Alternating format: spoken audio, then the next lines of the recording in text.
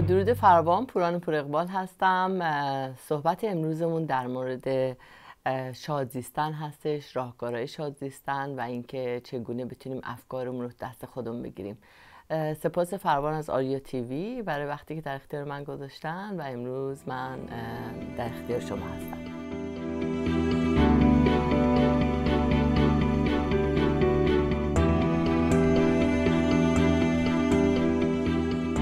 برای شاد زیستن برای آرامش داشتن آرام بودن خوشحالتر بودن و شادکامتر بودن ما نیاز به درک از تخلیه روانی داریم.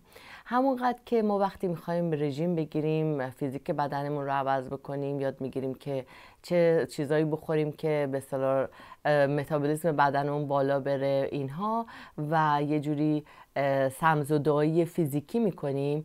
عدید ما ما نیاز داریم سمزدایی روانی بکنیم. و یاد بگیریم که چه مسائلی هستش که فکرمون رو روانمون رو رفتارهامون رو گفتارمون رو تحت تاثیر قرار میدن. می‌خوام که لحظه چشمتون رو ببندین اگر ممکنه و یک تنفس عمیق بکنید. با هم یک تنفس عمیق شما میایین به زمان حال الانی که داریم با همدیگه صحبت می‌کنیم. و بودن تو زمان حال در حقیقت دوری از گذشته است که ما دست ما خارج شده و راهی برای ترمیمش نداریم. ولی اغلب اوقات ما تو گذشته گیر کردیم و افکارمون روانمون ذهن و جان و پوست و خون و گوشتمون انگار که تو گذشته گیر کرده. و خود همین این مپس من هستش که تخلیه روانی چگونه انجام بدیم.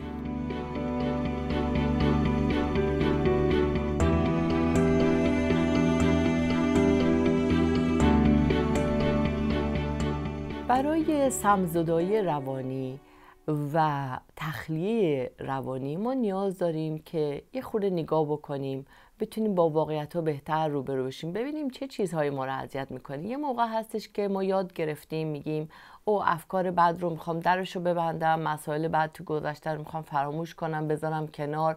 دیگه تموم شده. ولی امکان نداره ما بتونیم مسائل گذشته رو فراموش بکنیم. امکان نداره ما تجربیات سخت رو بتونیم پشت سر بذاریم بدون اینکه آگاه بشیم از اینکه تاثیر اونها روی روان ما رفتارهای ما عواطف ما و فیزیک بدنمون چگونه هستش. من این رو می‌خوام که حتما تایید بکنم که ما با دوری از مسائل با دوری فرار از تجربیات سخت نمی‌تونیم اونها رو پشت سر بذاریم.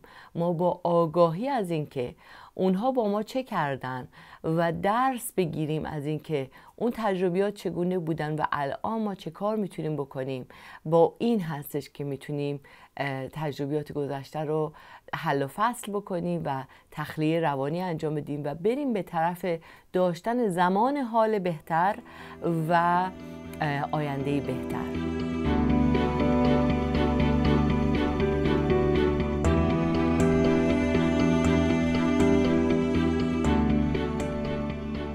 یکی از شرایطی که هر روز من دارم باهاش کار می‌کنم به عنوان روان درمانگر من توی بیمارستان بخش به اصطلاح مراقبت های روانی کار می‌کنم. عزیزانی که میان و حرف از این می‌زنن که افسردگی و استراب اذیتشون می‌کنه. و وقتی که نگاه می‌کنی می‌بینی یه سری مسائلی هستش که حل و فصل نشده. دردهای درونی است که گفته نشده. برفرض دختر جوانی یا پسر جوانی که میاد میگه من با خانوادم اختلاف دارم اونها منو درک نمی‌کنن گوش نمی‌کنن به من هر لحظه منو تحقیر می‌کنن و هی به من فشار میارن.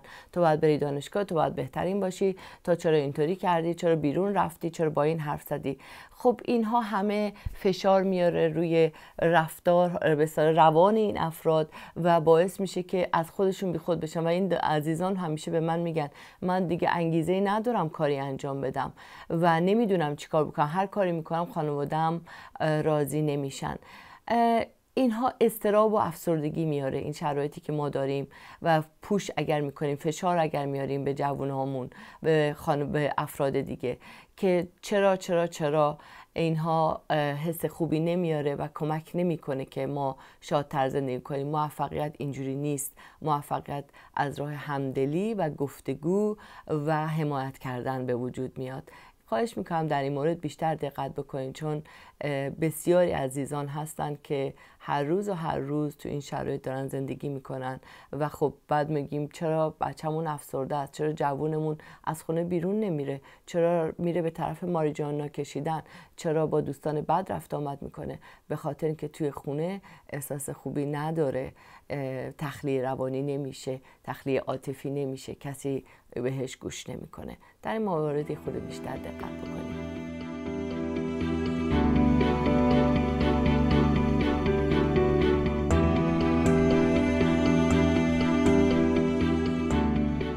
تصور کنید که کشتی دارید روی دریا دارین حرکت می‌کنید و دریا طوفانی میشه.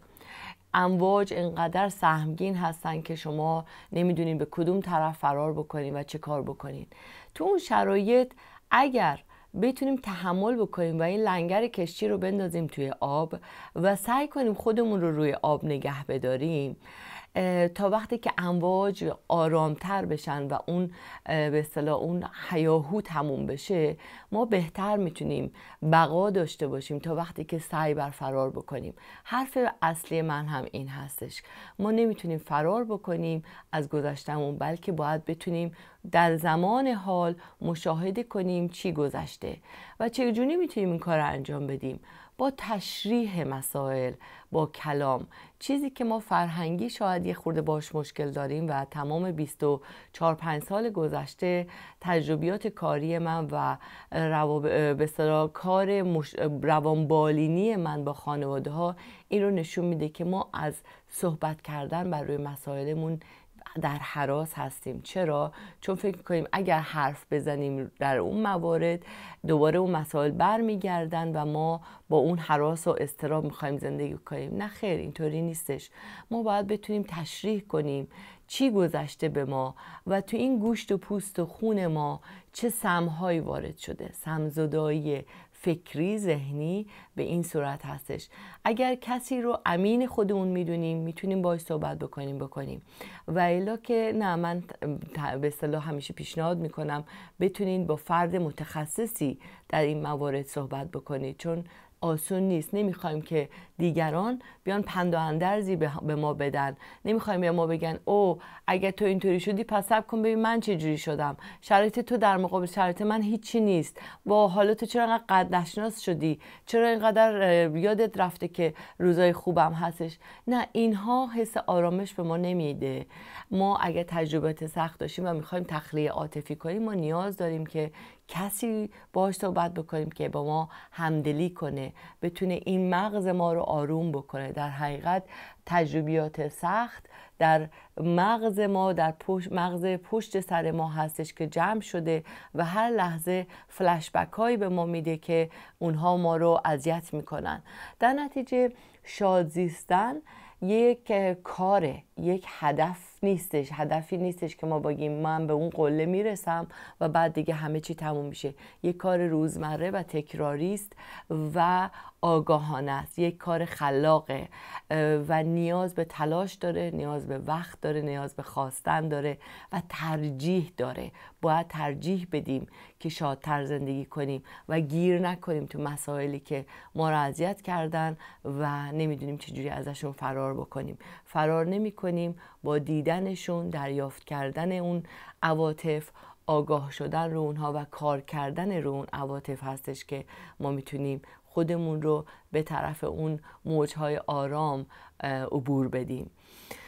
امیدوارم که این صحبت ها به دردتون بخوره چون که روزگاری هستش که افسردگی و استراب خیلی از عزیزان رو اذیت می‌کنه و اینها شرایطی است که یه موقع میره به طرف اینکه فرد رو تو یأس و ناامیدی حس تنهایی حس بیکسی حس بیپناهی اینها غرق بکنه و خدای نکرده به جاهایی برسه که نمی‌خوایم برسه.